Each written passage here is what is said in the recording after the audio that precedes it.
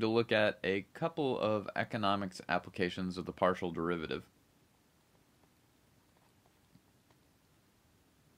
So consider the Cobb-Douglas production function.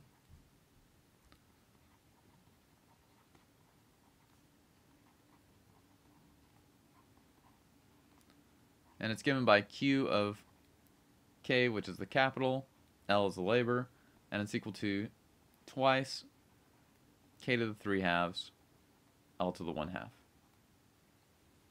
Well, when K is equal to 100, L is equal to 25, Q of 100, 25, is going to be equal to 2 times 100 to the 3 halves, which will be 10 to the third. Times 25 to the 1 half, which will be 5, which is 10,000. The partial derivatives of this function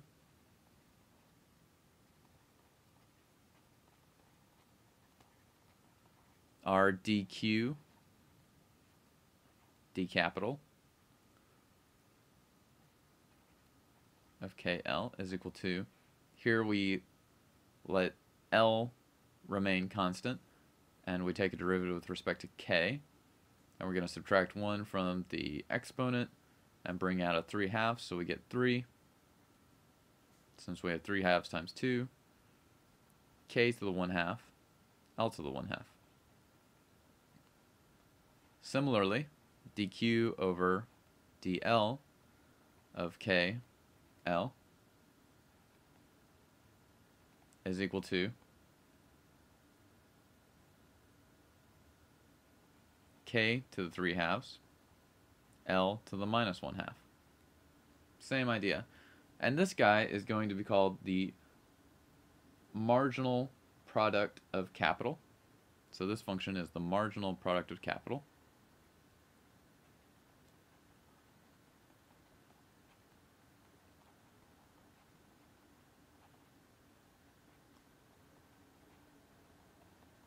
That's our interpretation of that function. This one we'll call the marginal product of labor.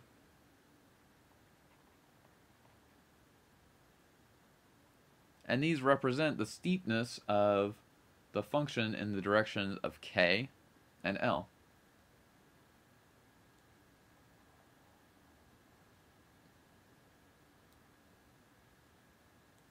So if we fix, so if we fix L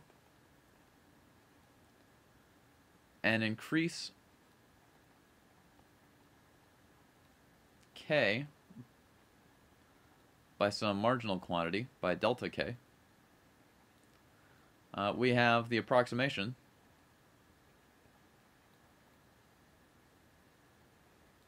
Q of, say our numbers were 100, plus some delta k, 25. It's just like in one, one, one-dimensional calculus, we say that it's going to be the point, the evaluation at that point, plus the partial evaluated at that point, times delta k. And what is this equal to? We computed this, this is 10,000. And if we compute, if we plug in 125 into this friendly fellow, we get 3 times 10 times 5, which is ultimately going to give us 150 delta k. So now if, if k is equal to 1, then this is equal to 10,000, this should be 150, 150. And the actual value, you can compute the actual value, so 101, 25, right? So delta k delta k is equal to 1. Q of 101.25, that's actually equal to 10,150.374 and a bunch of other smaller things. So that's actually a very good approximation, as long as delta k was actually small.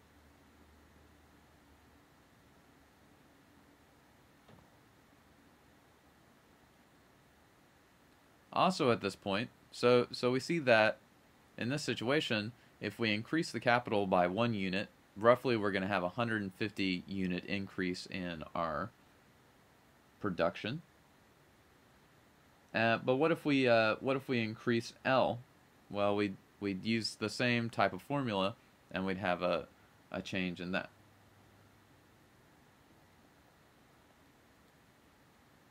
So now let's consider the a, a two variable situation or a three variable situation.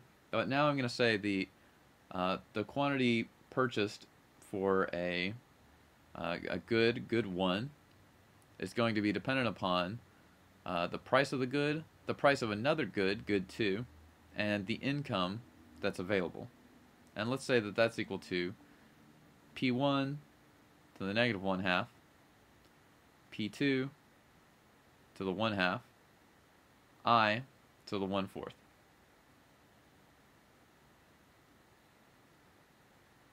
Now we want to describe the elasticity of this good, the uh, the the consumption of this good with respect to the price. Um, and we could use a partial derivative, and that kind of quantifies how Q1 would be changing as we change P1. But the thing is, these units could be in millions of dollars or 50s of cents. That's it. And so we want something that's a little more invariant. So in order to measure elasticity, we're going to say that E1 is going to be the percent change in demand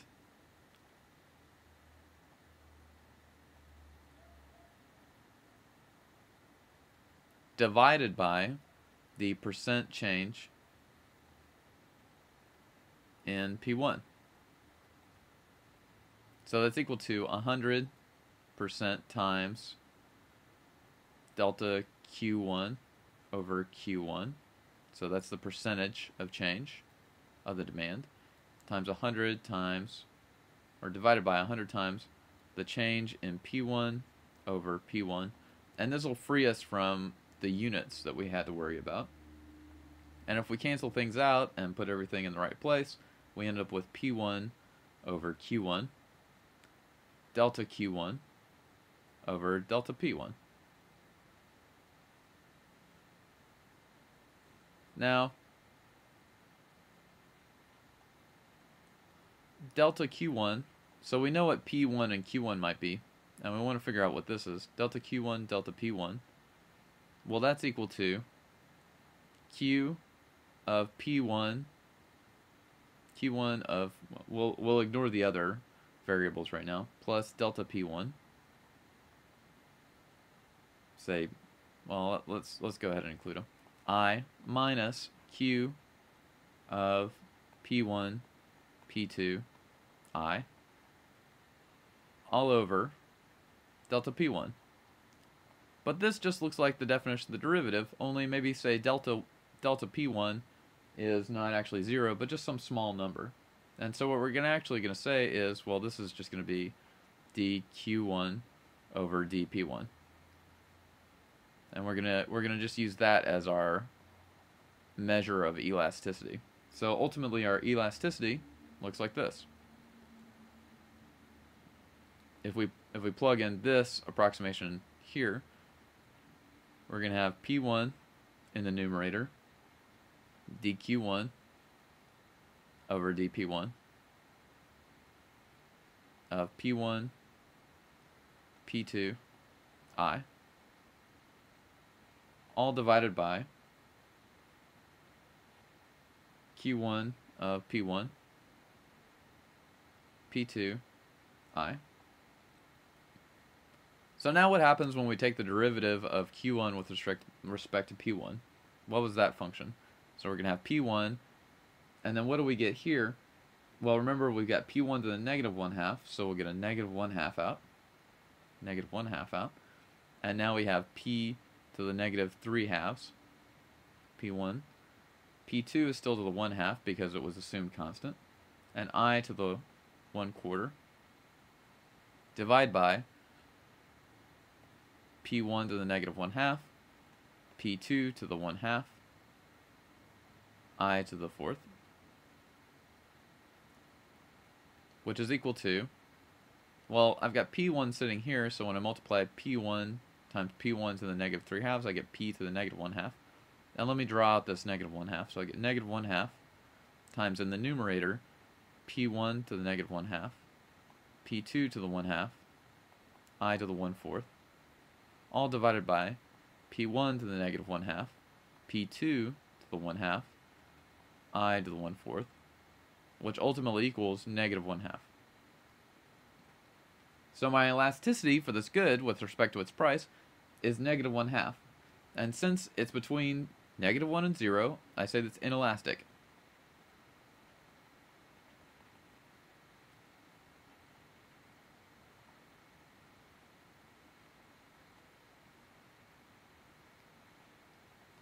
if if it were between negative infinity and negative 1, we would say it's elastic. Right? That is a very that is it would indicate that there's a very big change in the demand based upon the price. Otherwise, we call it inelastic. It's kind of an arbitrary decision, but it works in the long run. That's useful. Well, we can also compute the cross price elasticity. So the cross price elasticity it's derived in kind of a similar way. So we have el elasticity of good 1 with respect to the price of good 2 is equal to P2 dq dp2 of P1 P2 I all over Q1 of P1, P2, I. And if you work out what the, what that means, you should get 1 half. Now if EQ2 P1 was also positive, so this number is positive, this number is positive, we would say these goods are substitutes.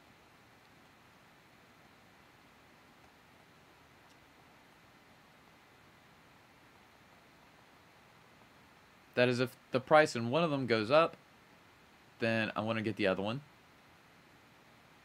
And if it goes down, then I care less about getting the other one.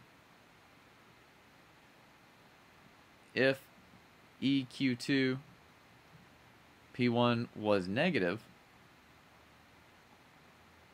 uh, these are complements.